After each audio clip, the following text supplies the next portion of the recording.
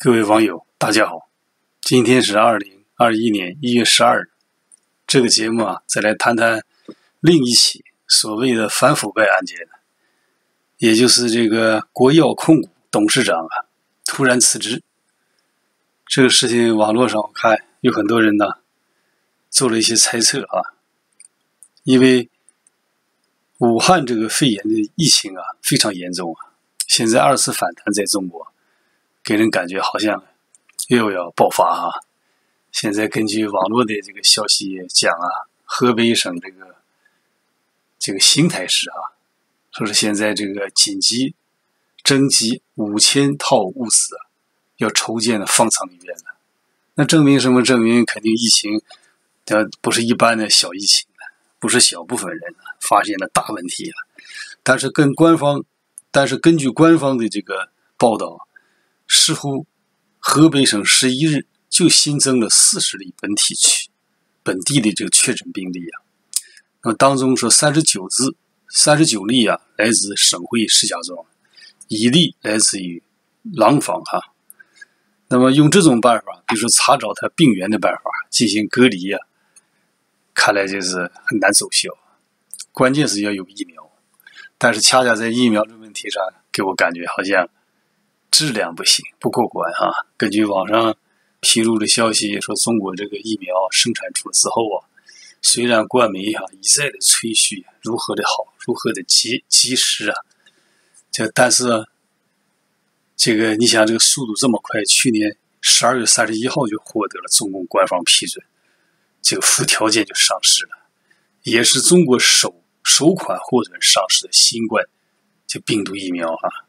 这个公司是国营企业，大企业。你想，二零二一年年底前生产十亿剂以上的五肺疫苗啊，但是呢，质量呢，副作用很多，说七十三种副作用，至少甚至少数接种疫苗的人出现了高血压、视力衰退、味觉丧失、月经延迟及尿失禁等问题，一度引起公众广泛的关注讨论了。你想，那肯定是往前往前推一推，肯定是这个中共这个办事就是这样嘛，讲究效率，讲一讲究这大一统。尤其到了习近平这个时代，那不仅是一一党执政，一人独裁呢，他肯定下令赶快生产疫苗批次，那么下边人就一路小跑，这个投资给这个国资委控股的公司啊。今天也就是网上哈就披露这条消息给大家看，有有截图啊。下边还有一些这个药品呢，那么那肯定是领导交办的，要限定在多长时间内就要把这个疫苗拿出来。结果呢，抢速度没有保住质量，一袭忽悠一袭啊！你看，这是网上今天的截图吧？这截图虽然速度很快完成了任务，但是后来经过证明，不像他吹嘘那么好。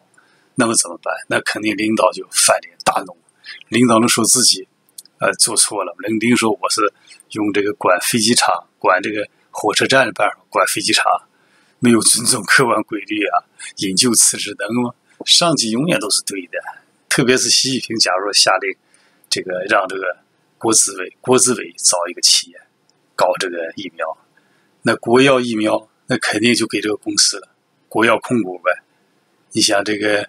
国药控股的公司生产这个东西，肯定上级有限时，但是质量就很难保证了。因为疫苗这东西它是有程序的。你看，你美国、加拿大也有疫苗，特别美国也有疫苗，这但是它走的程序是完整的。因为它这个国家总体上来讲，法治还是比较健全的。那虽然现在法治人们都讲，由于中共的红色渗透啊，这个这一次对大选的影响。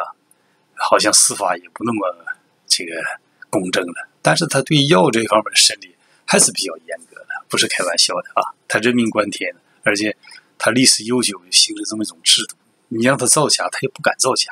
从小学上课的时候就讲到诚实，何况对这个关系人民生命财产特别敏感的这样的疫苗呢？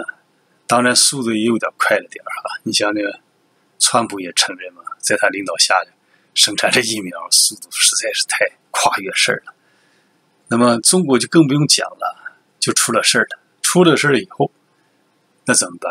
查，领导又大怒了。领导永远正确，就说了查怎么查？经济问题查，都有经济问题。你像那么大的国资委的老板，呃，我在上个节目也讲到了这个赖小民，那不就是权力太集中了吗？你才能挣这十几个亿的钱呢？公家的钱都叫自到自己口袋里了。那同样，你国资委控股叫国药控股，那领导也是非常的这个有权势啊。上面批这么多的这个研制基金、生产资金，那你给谁不给谁？给哪个厂、哪个公司经销？这个那可能都是发大财了，也可能他们在这其中也是就偷工减料、吃私贪污。假冒伪劣，完了，一一级骗一级，这个也是免不了的。所以说，中央社的报道说呢，国药控股一月六号召开二零二零度总总部干部述职大会，说公司领导班子成员、中层干部、职工代表九十余余人参加，但是原来这个董事长李志明这个名字没有了。随后，国药控股呢，在一月二号傍晚在香港交所网站发布公告。公司董事会于一月十二号收到董事长李志明的辞呈，因为他这样大公司，他为了搂钱，几次就在香港上市，不有些还在美国上市吗？这个他在香港上市，那肯定得公布这些，按照香港上市这个规定，有些信息必须透明，这是对股民负责，也是股民一种承诺，对吧？结果呢，一看他辞职。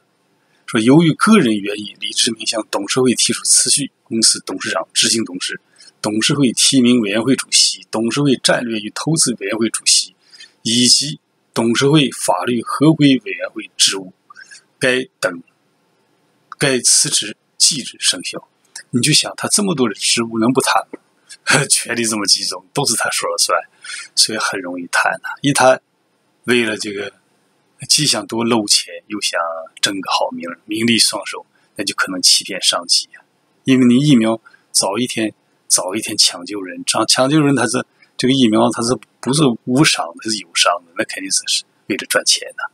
就是他无伤的给老百姓，也上面也有拨款，财政拨款。你像美国就是，那都是财政拨的钱，也纳税人的钱呐，对吧？也是一样的。所以通过这个。呃，文书看出什么？这个李志明出事了，就开始猜测李志明到底怎么回事说这篇文章讲公告当中说，李志明确认其与其他董事会之间没有意见分歧，也无任何与彼辞职有关事宜，需敦请本公司股东及债债权人垂注。这都用用文言文讲的，香港就台湾就是鼓里鼓气，人们也听不懂。其实用我讲，用我的话表述，就是一点。这公司那些其他领导没说和他有意见，不是因为人事的问题啊、纠葛的问题，而是因为不好言说的秘密辞职。那什么秘密？这篇文章没有讲，本人猜测，那还是刚才我讲的质量出了问题。领导大怒，伟大领袖大怒了，大怒怎么办？怎么能叫领导不生气？就哄一哄领导，抓。共产党的思维方式就是一个是捧。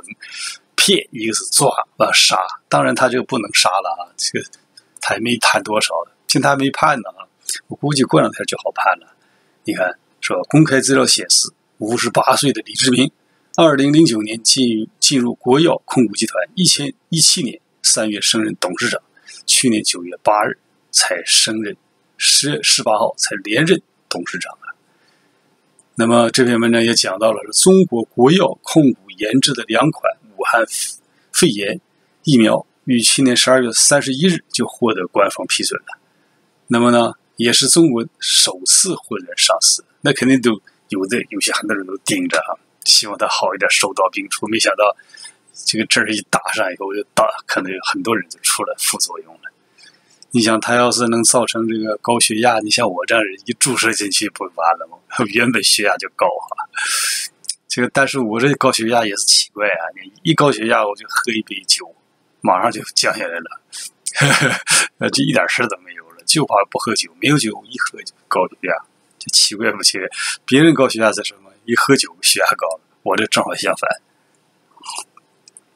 所以这个疫苗啊，这扯回来就是说，在中国不值得信赖，因为什么？这个体制决定的，它是个人治的社会，给这么多钱给一个人，假如他人品好的话，那他肯定认认真真、兢兢业业的做。我也我也承认，有的人品好，不贪不占，或者是小贪吧，吃点、喝点、玩点、乐的，那就不算什么。